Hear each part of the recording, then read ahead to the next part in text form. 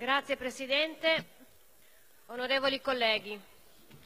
Per quanto sia un passaggio parlamentare obbligato, parlare di legge europea in questa congiuntura politica non è semplicemente un atto dovuto, bensì rappresenta per tutti noi l'occasione di un'approfondita serie di riflessioni su questo meccanismo europeo di limitazione della sovranità nazionale e di imposizione di normative sovrastatali che da tempo è al centro del dibattito pubblico europeo e sicuramente lo sarà ancora di più nei mesi dell'anno nuovo.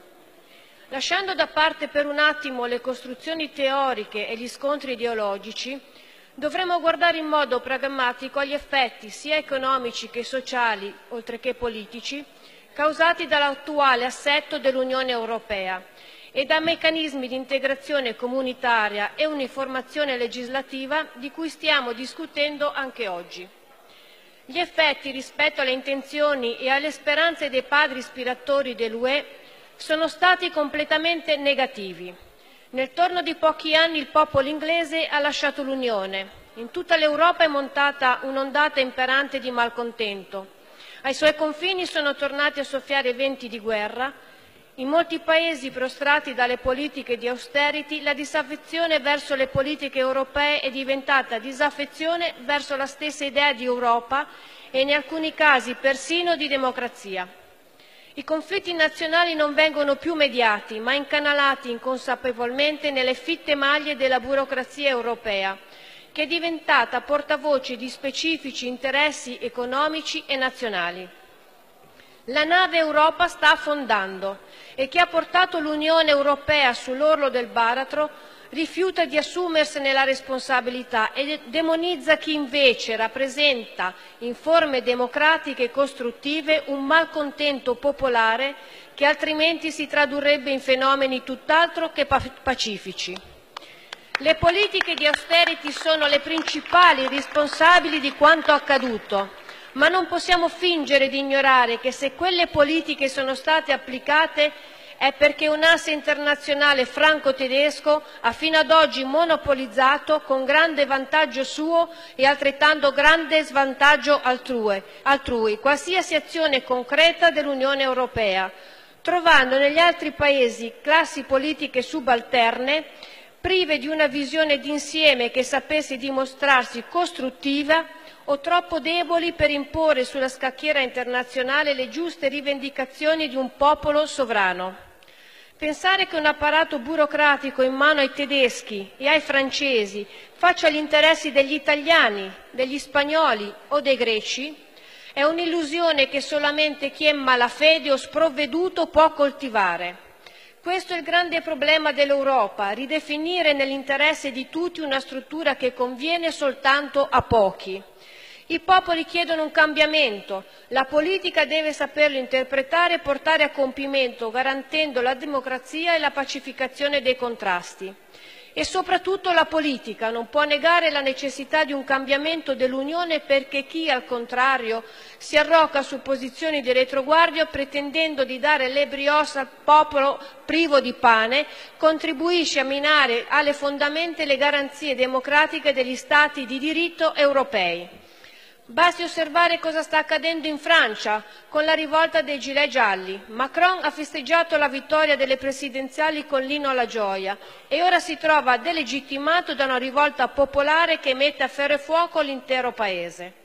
Anche noi nel giorno in cui discutiamo due procedure di infrazione e tre EU pilot ci troviamo immersi nella grande contraddizione europea.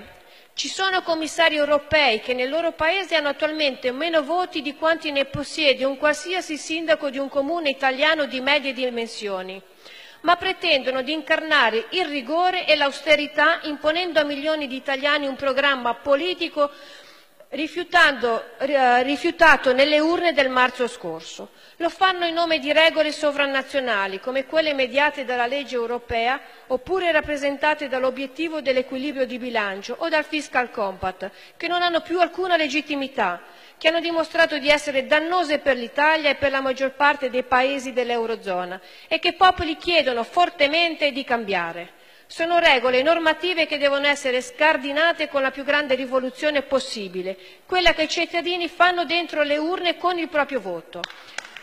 Fino a quel momento ci troviamo costretti a muoverci dentro di esse, battendoci per ottenere il massimo per l'Italia e pronunciando sonori no in risposta a quelle istituzioni che in passato hanno trovato un'Italia rassegnata a dire soltanto sì.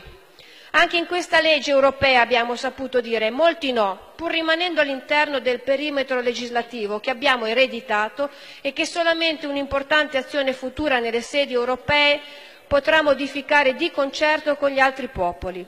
Siamo fiduciosi che le nostre istanze mirate a un cambio di rotta economico, contrassegnato dall'espansione e dal sostegno alle fasce deboli, vengano accolte nel loro impianto fondamentale dall'Unione europea.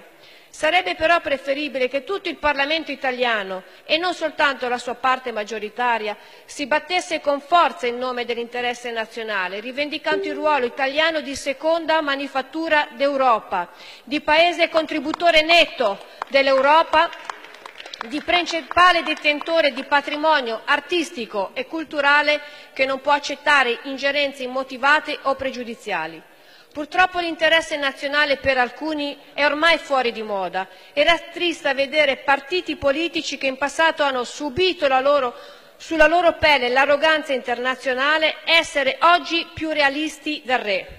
Forse la convenienza porta da quella parte, ma dovrebbe esserci qualcosa di più del grande campanilismo a tenerci uniti. Concludendo, Presidente, non dobbiamo rinunciare all'idea di Europa della grande casa al cui interno possiamo meglio affrontare le sfide e le competizioni del futuro, ma dobbiamo riconoscere che questa Europa dei cavilli, dello spread, delle ingerenze straniere, delle sudditanze geologiche non è la nostra Europa. La nostra Europa affonda le sue radici indietro nei secoli ed è fonte di ispirazione per una ricostruzione dell'edificio comunitario mentre la loro è diventata l'incubo di un sogno che tutti noi nutriamo ancora. Abbiamo dunque la responsabilità di riformarla, di preservare quel sogno e il voto sulla legge europea 2018 non fa che aumentare ulteriormente il senso di quella responsabilità. La maggioranza parlamentare le idee chiare a tal proposito. Ci vuole un'Europa politica, una banca centrale che sia prestatore di ultima istanza, una deregolamentazione negli ambiti meno importanti e una maggiore integrazione di quelli fondamentali. Non siamo il malato d'Europa, Presidente, siamo l'esempio che gli altri popoli seguiranno presto per dare luce a una nuova Europa con meno diseguaglianze, più economia reale e una forte, ripresa valoriale. Grazie Presidente.